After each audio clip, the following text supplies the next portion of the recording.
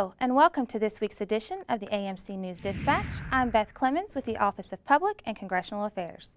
We're on location in Huntsville, Alabama this week to discuss the impacts of BRAC on the healthcare system in the Tennessee Valley region. With the relocation of several DoD organizations to the area, questions have been raised on the ability of the local healthcare providers to meet the needs of this growing community. Quality of care. Crestwood Medical Center is a 150-bed acute care general hospital located in uh, Huntsville, Alabama. We have uh, a um, very busy emergency department, saw over 36,000 visits last year, and we have uh, 550 physicians on our medical staff, uh, cover uh, over 50 spe medical specialties, so pretty much any physician that uh, you'd need we have on our medical staff. Huntsville has already been growing, and as a healthcare entity, we have been uh, we have been keeping pace with that growth by providing upgrades to our physical plant and, and new service line. We have also expanded our um, number of beds. Uh, until uh, this past year, we were a 120 bed hospital. Now we've uh, just bought th brought 30 beds online this past summer, and in that expansion project that we uh, did that made made uh, the 30 beds possible, we've expanded our infrastructure, major renovations to the original footprint of the hospital in terms of our supply chain, our um, cafeteria and, and public services, and then uh, also built-in growth capacity so that we can add up, up to another 60 beds.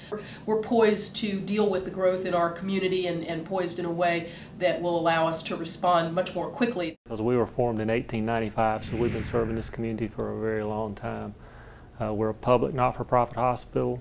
We exist solely to take care of the health care needs of the Tennessee Valley. Uh, we are the second largest hospital in Alabama, one of the largest hospitals in the southeast. We have the only women and children's hospital. We're the trauma center for all the North Alabama, Tennessee Valley. Uh, we have the only open heart surgery program. We do all the neurosurgery uh, for this area. Uh, we have peds uh, general surgery there are a lot of things that Huntsville Hospital provides to this region. We've signed a formal affiliation agreement with St. Jude's to bring pediatric oncology and hematology care uh, to our community. Uh, we continue to expand the system outside the downtown area by, by continuing to expand our uh, services in the Madison community. Uh, we purchased land in the Hampton Cove area. So we're trying to take healthcare out to the community. Uh, in addition to that, we've opened a new bed tower that's got uh, 83 state-of-the-art beds uh, in that bed tower. We're in about four months away from finalizing a brand new emergency department that'll be one of the largest emergency departments in the United States. We'll have about 100 treatment rooms when we finish that in June. The average hospital in America has about 12,000 admissions. We have over 50,000 admissions a year. Uh, the average emergency department will see somewhere in the neighborhood of 30,000 patients a year. We'll see close to 135,000 patients in our ED. Uh, our outpatient uh, visits range in the neighborhood of five to 600,000 outpatient visits a year. So we're a very busy tertiary center taking care of all of the north, uh, the Tennessee Valley. A lot of recruiting, particularly of subspecialties that are needed in the community, additional trauma surgeons, pediatric surgeons, pediatric endocrinology, uh, we're working with the UAB School of Medicine to expand the number of residencies, residencies that we have in this community. The purpose of the Huntsville campus is to provide clinical education in the third and fourth year of medical school and to train family medicine residents to go out to North Alabama. North Alabama uh, has benefited greatly from the Huntsville Regional Medical Campus for the last 35 years. Um, we have a large number of family physicians in North Alabama who trained in this program. This is one of the uh, top 10 places to practice medicine in the country. Uh, and I think the reason it is is because it's such a collegial atmosphere and we have a very good uh, support both from primary care and subspecialists. The role of the family practitioner. When you have a primary care physician taking care of you, that physician can be the conductor of your medical orchestra. So if you have a cardiologist, an endocrinologist, and a surgeon, somebody has to keep track of all the things, and the family physician is in the best position to do that for each individual and for the entire family. If you don't have a physician connection from where you're moving from to down here to get you into a specialist, our community, uh, most of the specialists get their, get their patients referred from primary care physicians, that being uh, pediatricians, family practice, internist, those types of physicians would refer to the specialists like the cardiologists and the neurologists, neurosurgeons. So uh, establishing that primary care home first is the best way to get connected with a specialist if you need a specialist. The model in our community is, is to establish a primary care home uh, and that that physician will handle the bulk of the, of the medical needs of your family and has a large cadre of specialists that they can lean on um, when the needs of the patient exceed what they're able to provide in their office. Advice from the experts.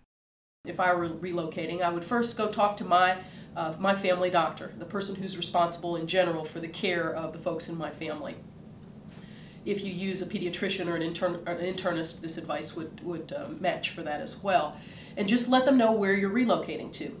Our healthcare professionals, our physicians, come from all over the country, from medical schools all over the country, and it is likely, highly likely, that your physician may know someone, a physician in our community. The most important thing you can do is get a summary of your medical records and have them with you.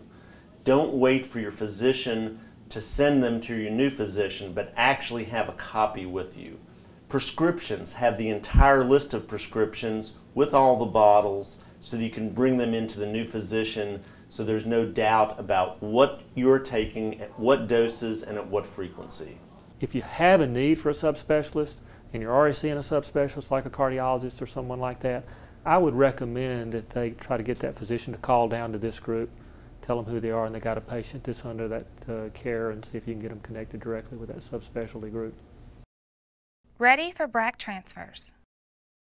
I believe that the uh, Huntsville Regional Medical Campus has had a major positive impact over the past 35 years in doing a wonderful job of training family physicians to be primary care providers to the people moving into the Tennessee Valley. Thankfully, we've had some time to prepare for the arrival of our new uh, community members, and that uh, we'll do, uh, do our very best to make sure that it's a transition that works well. This town loves the military, and we're looking forward to do whatever we can to, to try to make this move as easy as possible for everybody that's coming down. To assist those relocating to the Huntsville area, find a healthcare provider. Both local hospitals have established hotlines to match patients with physicians. Call Crestwood Medical Center at 256 429 5000 or visit their website at www.crestwoodmedcenter.com or call Huntsville Hospital's hotline at 866 581 BRAC or visit their website at www.huntsvillehospital.org.